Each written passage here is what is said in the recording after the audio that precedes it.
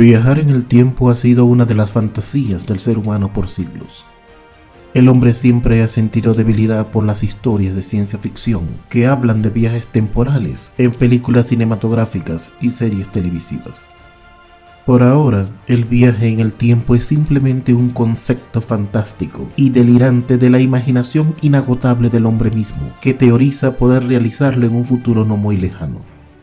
Sin embargo, cada año en un lugar de nuestro globo terráqueo, muchas personas cruzan una frontera temporal y viajan al pasado y celebran dos veces la entrada del mismo año nuevo. Aunque suena divertido y a la vez difícil de creer, ese viaje en el tiempo es posible por la dirección de la rotación de la Tierra y los usos horarios de nuestro planeta. El primero de enero de 2020, los pasajeros de tres vuelos comerciales ya habían celebrado la llegada del año nuevo, pero tuvieron una segunda oportunidad para festejar cuando llegaron a su destino, el 31 de diciembre de 2019. Esta curiosa y alucinante paradoja del tiempo ocurre cada primero de enero entre la costa asiática y la costa oeste de Norteamérica.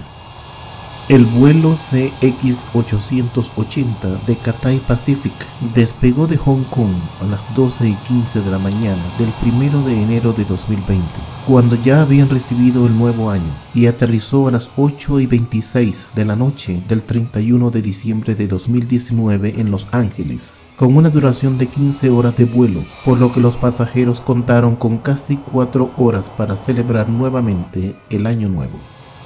Otro vuelo, el NH-106 de Aerolíneas Nippon, que va de Tokio a Los Ángeles, despegó a las 12 y 24 de la mañana del 1 de enero y aterrizó el 31 de diciembre a las 4 y 32 de la tarde, con 11 horas de vuelo, aun cuando la luz del sol iluminaba el año 2019.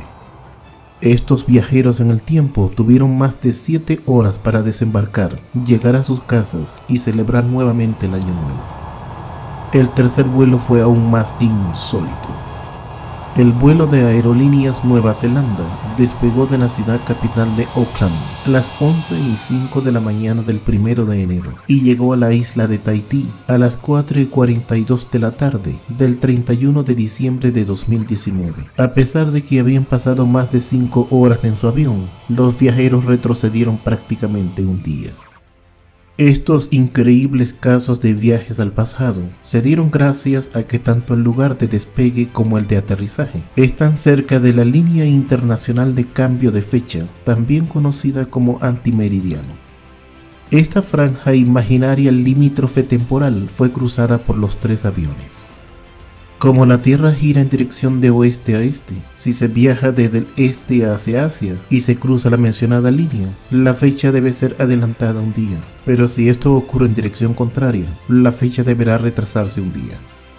Los tres vuelos que despegaron en el 2020 y aterrizaron en el año 2019 no fueron el argumento de una película o novela de ciencia ficción, sino tres casos aislados de la vida real que pudieron seguirse con la aplicación Flight Radar 24, un servicio de seguimiento de vuelos que proporciona información en tiempo real sobre miles de aviones de todo el mundo.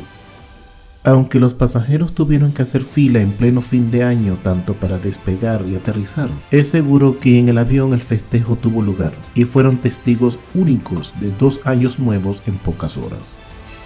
Los viajes en el tiempo sí existen en ese espacio aéreo determinado de nuestro bello planeta Tierra, donde los viajeros del tiempo celebran por partida doble la entrada del mismo año nuevo en una increíble pero sorprendente vuelta al pasado.